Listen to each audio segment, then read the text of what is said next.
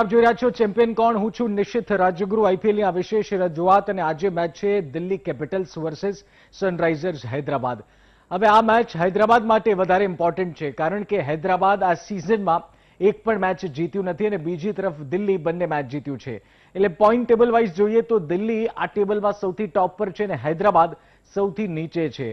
હૈદરાબાદનું બે હજાર ઓગણીસમાં પરફોર્મન્સ આપણે જાણીએ છીએ. ડેવિડ વોર્નર અને જોની બેરસ્ટો જે ઓપનિંગ કરતા હતા, હજુ સુધી એ ઓપનિંગ પેર પરફોર્મ કરતી દેખાઈ નથી. પરંતુ આજની મેચમાં એ આશા અપેક્ષા છે કે કદાચ આજે જોવા મળે. પરંતુ જે આ, જ્યાં મેચ રમાવા જઈ રહી છે દુબઈનું અબુધાબી ક્રિકેટ સ્ટેડિયમ હવે આ સ્ટેડિયમ આમ તો એવું રહ્યું છે કે જે પહેલા બેટિંગ કરે છે એ જીતે છે અને પહેલા બોલિંગ કરે છે એ હારી જાય છે. પરંતુ આ સિચ્યુએશન છેલ્લી બે મેચમાં ચેન્જ થતી જોવા મળી. એવરેજ સ્કોર અબુધાબીમાં એકસો સાડત્રીસ કે છે.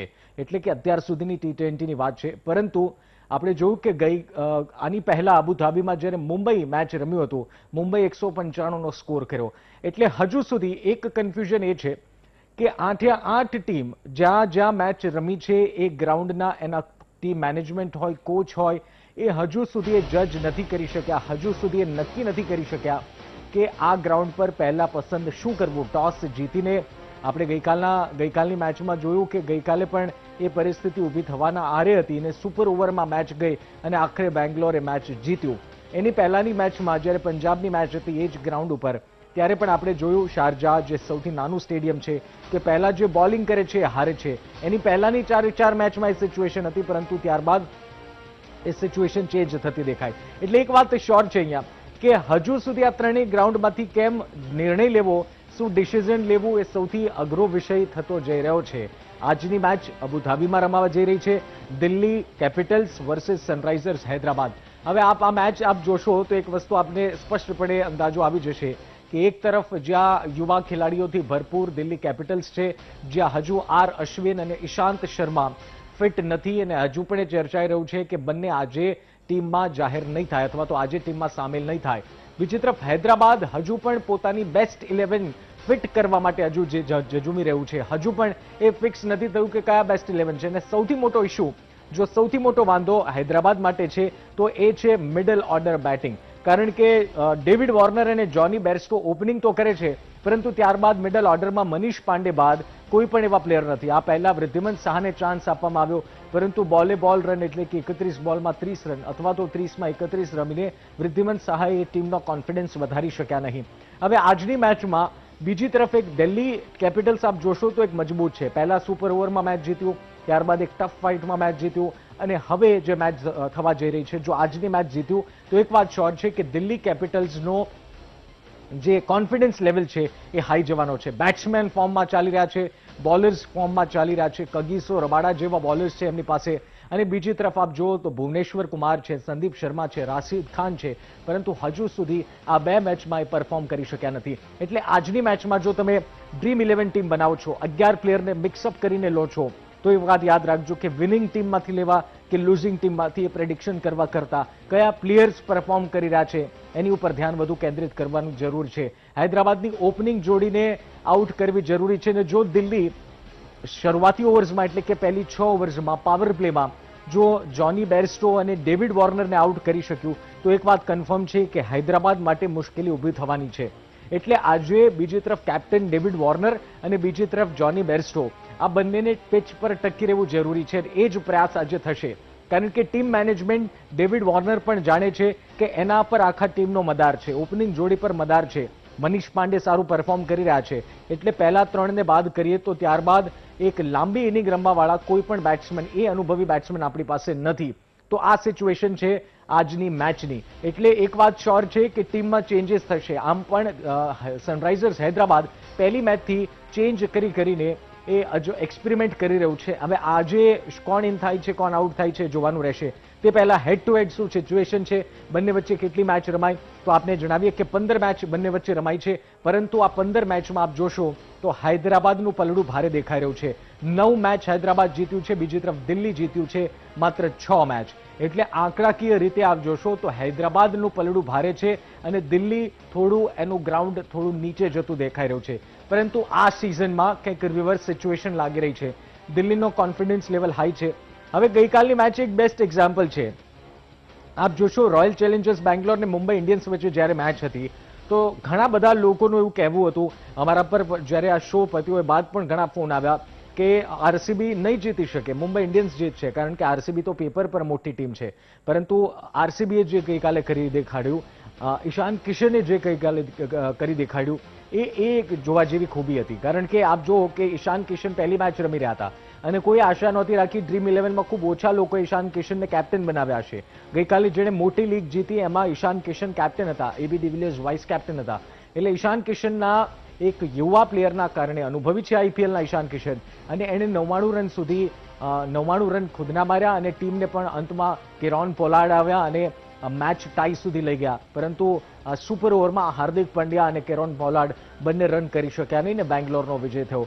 એટલે એક અનસર્ટિન ગેમ છે ક્રિકેટ એમાં એ પ્રેડિક્શન અત્યારથી કરવું કે કોણ જીતશે, કોણ નહીં, ખૂબ અઘરું છે. હૈદરાબાદ મજબૂત ટીમ છે, પરંતુ તેમ છતાં એ અત્યારના ડિસાઇડ કરવું ખૂબ અઘરું છે. પિચ રિપોર્ટ પર નજર કરી લઈએ. આજની પિચ શું કરી છે? તો કુલ ચુમ્માલીસ ટી ટ્વેન્ટી મેચ આ મેદાન પર રમાઈ છે. અત્યાર સુધીની વાત કરી રહ્યો છું. એમાં તમામ ટી ટ્વેન્ટી મેચનો સમાવેશ થાય છે. કુલ ચુમ્માલીસ ટી ટ્વેન્ટી મેચમાં સૌથી વધારે કોણ જીતે છે? તો ચુમ્માલીસમાંથી પ્રથમ બોલિંગ કરનાર ટીમ ઓગણત્રીસ જેટલી મેચ જીતી છે. એટલે પહેલા જે બોલિંગ કરે છે, એનું પલડું અહીંયા ભારે દેખાઈ રહ્યું છે. આ સ્પષ્ટપણે આંકડા કર્યા છે. એટલે કે ઓગણત્રીસ મેચ એવી જીતી છે અને એવરેજ સ્કોર મેં જેમ પહેલા કહ્યું એમ કે એવરેજ સ્કોર એકસો સાડત્રીસ છે. એટલે એકસો સાડત્રીસ તો સ્કોર થાય છે.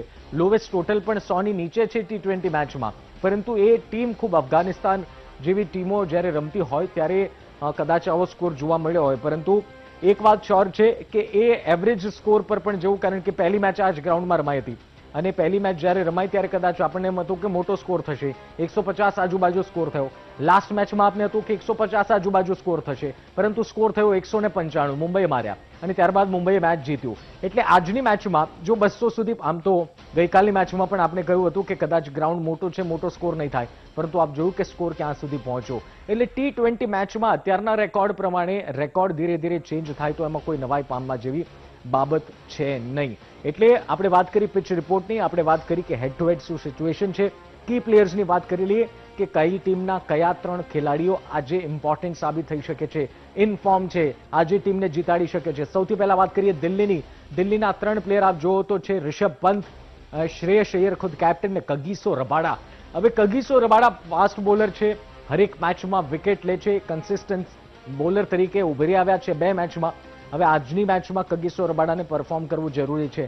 અને એવામાં સામે ડેવિડ વોર્નર અને જોની બેર્સ્કો જેવા પ્લેયર હોય, ત્યારે કગીસો રબાડાને પરફોર્મ કરવું ઓબ્વિયસલી જરૂરી લાગી રહ્યું છે. શ્રેયસ અય્યર અને રિષભ પંત, આ બંને ઇનફોર્મ છે. આમ તો પૃથ્વી શો પણ ઇન્ફોર્મ દેખાઈ રહ્યા છે. પરંતુ રિષભ પંત અને શ્રેયસ અય્યર જો કન્સિસ્ટન્સી જાળવી રાખે, તો આપણે ગત આઈપીએલ મેચીસમાં અથવા તો ગત આઈપીએલ સિઝનમાં આપણે જોયું છે કે આ બંને પ્લેયર્સ જો આ બંને પ્લેયર્સ ચાલ્યા, તો એક વાત શ્યોર છે કે ટીમ માટે એક મોટો ટોટલ ઊભો કરી શકે છે અને મોટા ટોટલને ચેઝ પણ કરી શકે છે. પૃથ્વી શોની ગત મેચમાં જે ધમાકેદાર બેટિંગ જોવા મળી, તેના પરથી એને પણ આપણે કી પ્લેયર્સમાં લઈ શકીએ. ત્રણ પ્લેયર હૈદરાબાદના કર્ણ છે, તો પહેલી ઓપનિંગ જોડી ડેવિડ વોર્નર અને જોની બેરસ્ટો અને ત્રીજા છે રાશિદ ખાન. હવે આપ જો ભુવનેશ્વર કુમારનો રેકોર્ડ પણ દિલ્હી સામે સારો છે. પરંતુ રાશિદ ખાન એક એવા બોલર છે કે જેને જલ્દી જજ કરી શકાતા નથી. આમ તો રાશિદ ખાન જ્યારે નવા નવા આઈપીએલમાં આવ્યા, જ્યારે પોતાની પહેલી સિઝન રમી રહ્યા હતા, ત્યારે રાશિદ ખાનની ખૂબ બોલબાલા હતી. કારણ કે રાશિદ ખાનના બોલ્સને, રાશિદ ખાનના ગુગલીઝને જજ કરવું ખૂબ મુશ્કેલ થઈ રહ્યું હતું. પરંતુ ધીરે ધીરે જેમ આઈપીએલનો એક્સપિરિયન્સ ગેઇન કરતા ગયા, સામે બેટ્સમેન પણ રાશિદ ખાનની બોલિંગનો એક્સપિરિયન્સ પોતે પણ ગેઇન કરતા ગયા. એટલે હવે રાશિદ ખાનના બોલને જજ કરવું બેટ્સમેન માટે કોઈ મોટી વાત રહી નથી. એવી જ રીતે આપ સિચ્યુએશન જો કે અત્યારની સિઝનમાં રવિ બિશ્નોઈ આ ખૂબ ખતરનાક ખેલાડી, ખતરનાક સ્પિનર સાબિત થઈ રહ્યા છે. પરંતુ બે ત્રણ સિઝન રમશે ત્યારે એમની પણ બોલિંગને જજ કરવામાં બેટ્સમેનને સરળતા રહેશે. એવી જ સિચ્યુએશન રાશિદ ખાનની થઈ રહી છે. પરંતુ તેમ છતાં, રાશિદ ખાનના રોંગ વન્સ અને રાશિદ ખાનની ગુગલી, આ બે બોલ જે છે એ દિલ્હીના બેટ્સમેન પર ભારે પડી શકે છે. તો આ સિચ્યુએશન આપણે અત્યારે જોઈ. પરંતુ પેસર્સ ને સ્પિનર્સનું મિક્સ કોમ્બિનેશન જો આજે ડ્રીમ ઇલેવનમાં કરશો તો ચોક્કસથી આજની મેચ આજનો કોન્ટેસ્ટ આપ જીતી શકો છો. એટલે ડ્રીમ ઇલેવનની પણ વાત કરીશું. તે પહેલાં આઈપીએલના કરિયર પર કેટલાક ખેલાડીઓની વાત કરીએ કે બબ્બે મેચ રમાઈ ચૂકી છે આ બંને ટીમની તો બે મેચમાં શું શું સિચ્યુએશન છે, કયા કયા ખેલાડી? સૌથી પહેલા વાત કરીએ પૃથ્વી શો. મેં કહ્યું આપને કે પૃથ્વી શો ધમાકેદાર ખેલાડી છે. આપ જોયું તો એક જ મેચમાં ચોસઠ રન કર્યા છે. બીજી મેચમાં પાંચ રને આઉટ થવાનો વખત આવ્યો. પરંતુ સ્ટ્રાઇક રેટ આપ જોશો તો કઈ સ્ટ્રાઇક રેટ સાથે રમી રહ્યા છે? એકસો ચાલીસથી વધુની સ્ટ્રાઇક રેટ છે. બે મેચમાં ઓબ્વિયસલી સ્ટ્રાઇક રેટ વધુ હોય, પરંતુ આમ પણ ઇન જનરલ પૃથ્વી શો, શ્રેયસ અય્યર રિષભ પંતની સ્ટ્રાઇક રેટ આપણે જોઈએ, તો એ ખૂબ ધમાકેદાર અને ખૂબ રોમાંચક આ સ્ટ્રાઇક રેટ છે. હાવેવર આંદ્રે રસલ જેવી સ્ટ્રાઇક રેટ તો નથી, પરંતુ સો ઉપરની સ્ટ્રાઇક રેટથી આ ત્રણેય યુવા ખેલાડી રમે છે. પરંતુ એક સૌથી ઇમ્પોર્ટન્ટ વાત કહું, જો પૃથ્વી શો ઓપનિંગમાં આવે છે અને શિખર ધવનની સાથે ઓપન કરે છે, શિખર ધવનને પણ આપણે ન ભૂલી શકીએ ગબ્બર સિંહ આપણે જાણીએ છીએ કે જો શિખર ધવનના બેટ પર પ્રોપરલી બોલ આવ્યો, તો શિખર ધવન પણ ખતરનાક હૈદરાબાદના બોલર્સ માટે સાબિત થવાના છે. પૃથ્વી શો બાદ વધુ એક પ્લેયર્સની વાત કરીએ. વધુ એક પ્લેયરમાં છે શ્રેયસ અય્યર કેપ્ટન ખુદ. હવે હું વાત કરી રહ્યો શ્રેયસ અય્યરની, એની સ્ટ્રાઇક રેટ એકસો આસપાસ છે. પરંતુ સૌથી ઇમ્પોર્ટન્ટ વાત, પાસઠ રન કર્યા છે, એટલે કે બે મેચમાં આશરે ત્રીસ ત્રીસ રન જેવા વીસ ત્રીસ રન કર્યા છે. એટલે ચાન્સ મળે છે બેટિંગ કરે છે. પરંતુ શ્રેયસ અય્યર સાહીઠ સિત્તેર પાસઠ રન કર્યા છે. એમાંથી એક પણ સિક્સર હજુ શ્રેયસ અય્યરે ફટકારી નથી. એક પણ સિક્સ તેના બેટેથી નીકળી નથી આ બંને મેચમાં. એનો મતલબ એ થઈ રહ્યો છે કે કેપ્ટન ઇનિંગ રમવા માંગે છે. જેમ આપણે મહેન્દ્રસિંહ ધોનીને જોઈએ છે, ક્રુશિયલ સિચ્યુએશનમાં આવે છે, પિચ પર રહે છે, પિચ પર ઉભારીને ધીરે ધીરે ટીમનો સ્કોર મોટો કરવાનો પ્રયાસ કરે છે. તો જો વહેલા વિકેટ પડી, તો ઓબ્વિયસલી શ્રેયસ અય્યર એ જ કરતા દેખાશે. ત્યારબાદ વાત કરીએ રિષભ પંત. રિષભ પંત બે મેચમાં સિત્તેર ઇન ફોર્મ છે એક જ મેચમાં હાફ સદી અર્ધસદી ફટકારી અને બીજી મેચમાં આશરે ચૌદ પંદર રનમાં તેઓ આઉટ થયા. એકસો પચીસની સ્ટ્રાઇક રેટથી રમે છે. વાત થઈ રાજસ્થાનના બેટ્સમેન દિલ્હીના બેટ્સમેન વિશે. કગીસો રબાડા, જો પાંચ વિકેટ લીધી છે બે મેચમાં. વિકેટ ટેકર બોલર છે. ઇકોનોમી પણ બરોબર છે. તમે છ છ, સાતની એવરેજથી ઇકોનોમીથી આપ ઓવર નાખો છો ટી ટ્વેન્ટીમાં ચાર ઓવર, તો એ મોટી વાત છે. ગઈકાલે વોશિંગ્ટન સુંદરને આપણે જોયા, પાંચથી ઓછીની ઇકોનોમીએ બોલ નાખી રહ્યા હતા, છથી ઓછી. એટલે છ સાત ઇકોનોમી બરાબર છે. આપ એને લઈ શકો છો. હૈદરાબાદના પ્લેયર્સની વાત કરીએ, હૈદરાબાદના પ્લેયર છે ડેવિડ વોર્નર. બે મેચમાં માત્ર બેતાલીસ રન, એમાંથી એક મેચમાં છત્રીસ રન. એટલે આપ ટોટલ કરો તો એ બીજી મેચમાં માત્ર છ રને આઉટ થયા છે. એકસો સોળની સ્ટ્રાઇક રેટ છે જે ડેવિડ વોર્નરને, જે ઓસ્ટ્રેલિયાના ઓપનરને આપણે ઓળખીએ છીએ, એના હજી ફોર્મમાં આવ્યા નથી. આજે આવવું જરૂરી છે. બીજા એક પ્લેયરની હૈદરાબાદના પ્લેયરની વાત કરી લઈએ. કોણ છે હૈદરાબાદના પ્લેયર તો એ છે મનીષ પાંડે. જો ટ્રમ્પ કાર્ડ છે આ વહેલી વિકેટ પડી પાવર પ્લેમાં વિકેટ દિલ્હી લે છે અને જો આજે લીધી, તો મનીષ પાંડેનો રોલ ખૂબ ક્રિશિયલ આજે સાબિત થવાનો છે. આપ ડ્રીમ ટીમ બનાવવાના હો, ત્રણ બેટ્સમેન લેવાના હો, તો ઓપનિંગ જોડીને લઈ લો, કોઈ વાંધો નથી, પરંતુ સાથોસાથ મનીષ પાંડેને એડ કરો.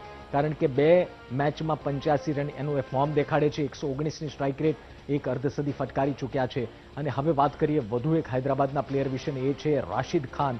હજુ ઇન ફોર્મ આવ્યા નથી. ફોર્મમાં નથી રાશિદ ખાન, ભુવનેશ્વર કુમાર એવા ફોર્મમાં નથી, સંદીપ શર્મા એવા ફોર્મમાં નથી. આશા રાખીએ કે આજે ઇન ફોર્મ આવે તો જ આજે મેચ રોમાંચક થશે. તો આઈપીએલના કરિયરમાં આપ જુઓ કે રાશિદ ખાન માત્ર બે મેચમાં એક વિકેટ ઝડપીએ છે અને સાતની ઇકોનોમીથી મેચના બોલ નાખે છે. સાત ઇકોનોમી બરોબર છે.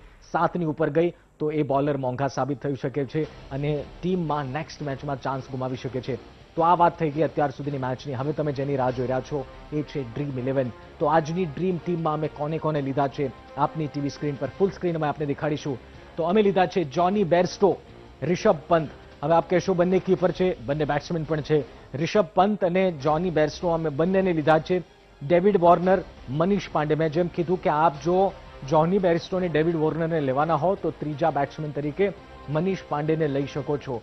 કારણ કે જો કોઈ એકને તો લાંબી ઇનિંગ રમવી પડશે. આપ મિડલ ઓર્ડર હૈદરાબાદનો વીક છે, તો મનીષ પાંડે સુધી રિસ્ક લઈ શકો છો. ત્યારબાદ શ્રેયસ અય્યર, પૃથ્વી શો, માર્કસ ટોઇનિસ જો માર્કસ ટોઇનિસ આપ જાણો છો ઓલરાઉન્ડર છે. હજી બોલિંગમાં એવું જાદુ આપણે જોયું નથી, પરંતુ બેટિંગમાં જો એ ઉતરે છે, તો એ સ્વાભાવિક રીતે એક મોટા સ્કોર ઊભો કરવામાં મદદરૂપ થાય છે. સંદીપ શર્મા, રાશિદ ખાન. સંદીપ શર્મા એ વેરિએશન બોલર છે વેરિએશન એની બોલ્સમાં હોય છે. ભુવનેશ્વર કુમારની બોલમાં સ્વિંગ હોય છે. જો પાવર પ્લેમાં ભુવનેશ્વર કુમારને વિકેટ ન મળી, તો સંદીપ શર્માનો રોલ વધુ ઇમ્પોર્ટન્ટ થાય છે. કગીસો રબાડા અને એનરિચ નોટજે. તો એનરિચ નોટજેને આપણે જોયા છે બે ત્રણ બે ત્રણ વિકેટ લે છે અને કગીસો રબાડા પણ એ જ સિચ્યુએશનમાં છે. તો આજે ડ્રીમ ઇલેવનમાં અગિયાર પ્લેયર આપે જોયા અને અગિયાર અગિયાર પ્લેયર આપ લઈ શકો છો અને અગિયાર પ્લેયર જો આપ લેશો, અમે જે દેખાડ્યું એ આપ લેશો, તો સ્વાભાવિક રીતે આપ માલામાલ ટીમ બનાવી રહ્યા છો સમજી લો. આપને કોન્ટેસ્ટમાં ફાયદો થવાનો છે સમજી લો. વિશેષ રજૂઆતમાં